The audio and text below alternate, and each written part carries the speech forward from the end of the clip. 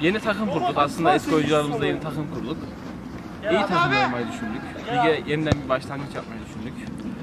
Rakibin ayağına sağlık. Biraz sert bir müdahale oldu. Sert bir mücadele oldu daha doğrusu.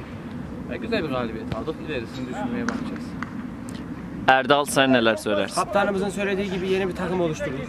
Aramıza birkaç tane güzel oyuncu takviyesi yaparak takımı tutturacağız inşallah. Maç değinerek güzel bir başlangıç oldu bizim için. Daha bir dahaki maçlarda daha iyi oynayacağız inşallah.